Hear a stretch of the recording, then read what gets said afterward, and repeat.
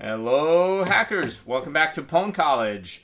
Today we're talking about uh, exploitation scenarios. This is a module that puts together everything we've learned in previous modules um, and applies it. Um, this specifically is a discussion about the use of a memory error to inject shellcode and run shellcode into uh, in a program. We've run shellcode in all sorts of different scenarios in module uh, two, uh, and now in uh, and in module five we did a whole lot of uh, memory error exploration of the impacts of memory errors. Now we're gonna put them together.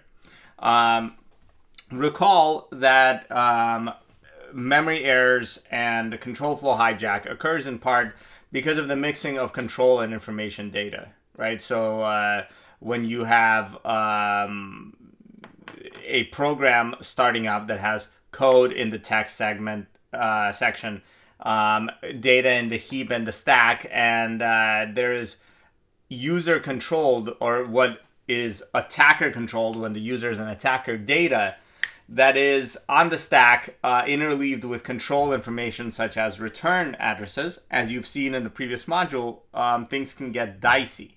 One of the ways that they can get dicey that we're going to explore here um, is when a uh, return address is overwritten, and by being overwritten, it ends up redirecting control flow into shellcode.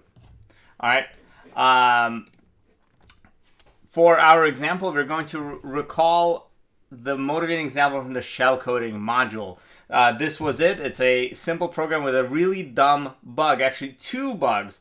Um, but uh, in the shellcoding context, the bug was that the arguments to this call of hello were mixed up. Instead of um, the function pointer uh, for byfunc, the uh, name was passed in. And so we could directly execute the name as shellcode.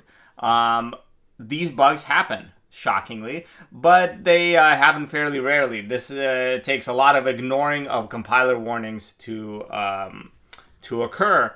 Um, but this program has another bug, and even if you fix the bug that allowed for arbitrary execution of shellcode in the shellcoding module, we still have a problem, and that problem is gets.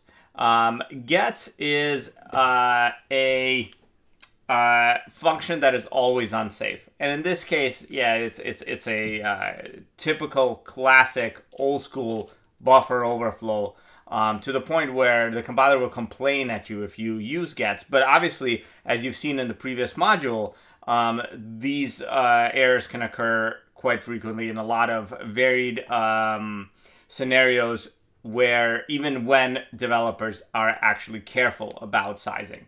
Um, so uh, in this case, we have a stack buffer overflow. And of course, as you're well familiar by now, you can override the return address and uh, redirect execution wherever you want. Of course, this program doesn't have a win function. There's no um, function that allows you to uh, hijack uh, or to, to, to read the flag you have to write it yourself. And of course, that is shellcode uh, injection. All right. Um, let's take a look. Um, as a reminder, this is a very simple example, and we have a lot of um, um mitigations disabled with. Uh, that's interesting. Hold on. Um, let me fix my text setup here. All right. Um, let's first uh, take a look. I, of course, wrote this program out here in hello.c.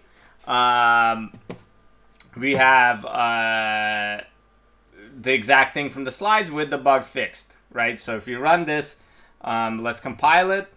Uh, as I mentioned, I'm turning off a bunch of mitigation. I'm turning on an executable stack. That's where we're going to inject our shellcode. And I'm turning off um, stack canaries you understand what those implications are from the previous modules.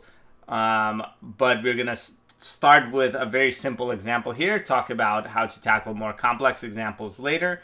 Um, and uh, um, we will, and then you will explore a lot of that on, on your own in the practice problems. All right, so if you compile this, and as I mentioned, if you use gets, the compiler complains at you right? Of course, there are other ways that these bugs can uh, occur. Um, all right, let's uh, execute it. Um, we put in our uh, a name, and then it just says hello, and then tells us one of two randomly chosen goodbye functions. All right, awesome. So this is um, the the program. Now, how do we exploit it? Obviously, if we put in a whole lot of text, it'll crash. Let's take a look at why.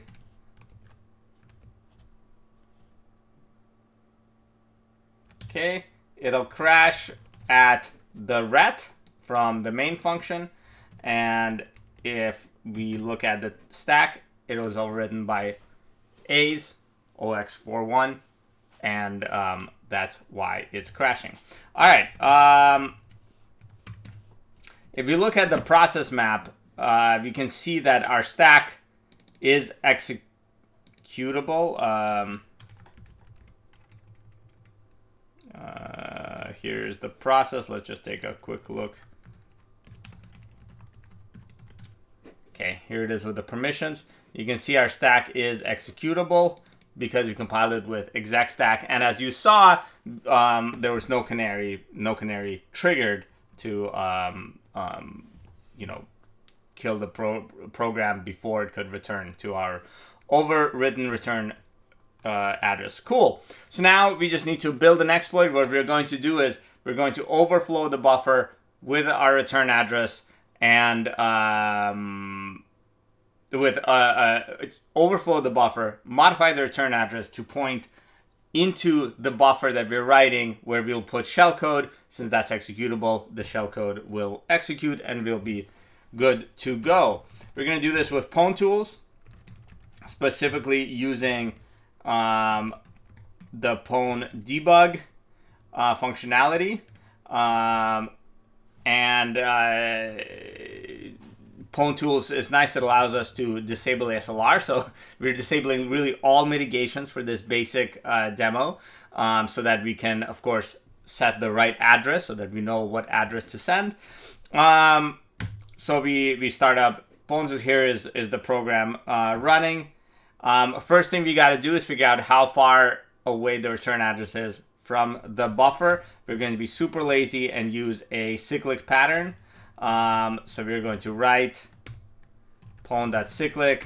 Of course, it's a 64-bit um, machine, so let's just uh, write 2,000 bytes with 8 bytes at a time so that we can look up with, with 8 bytes. Um, and gets um, is unsafe because it always reads to the new line. It has no, no uh, doesn't care at all about the amount of bytes it's read. Get, gets is an almost guaranteed buffer overflow again, but we need a new line so that it stops reading. All right, we wrote that, boom. Um, segmentation fault, let's see what is the stack got overwritten with. The stack got overwritten with this nonsense. This is part of our cyclic pattern. Um, for the record, if we generate this pattern, this is the cyclic pattern we overflowed with. And of course, this is, um, if we look at RSP in a string, you can see this is part of it, right? And so that this is this in, in Little Endian. And we can query either one of those. You can do pwn.find cyclic find um, that address n equals 8. That's the, the, the step size of the cyclic pattern. And it's at position 1032. So we have to send 1032 of anything.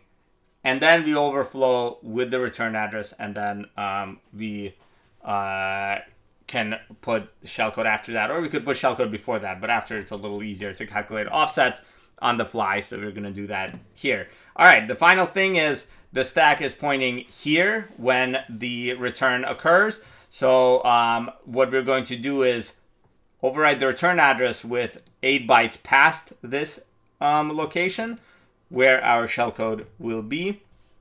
Um,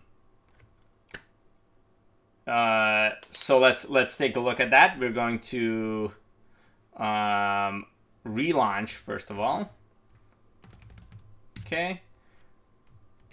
Continue here. All right, so here we are. We're going to write uh, 1032As. And then we're going to pack uh, P64, of course, takes this plus 8, um, takes this uh, number uh, and converts it to li a little endian uh, string plus our shellcode, right? So this will override the return address with a pointer to 8 bytes after the return address, which is where we'll put our shellcode. So when main returns, boom, our shellcode will run. Um, and now we put in the shellcode. I actually already wrote it here. This is just a, a simple open send file shellcode. Here's the results. It reads my fake flag when I run it. Um, and it's right here.